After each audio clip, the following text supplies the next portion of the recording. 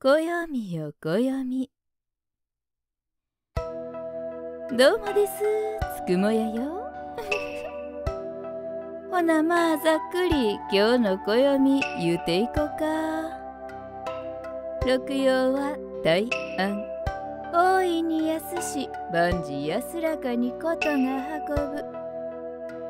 今日の干支は日のと鳥木の戸が影の木で鳥が影の木やさかいに音用語行の流れは金属の刃物が木を傷つけるいうことで通告物事が順調にいかへん言うけや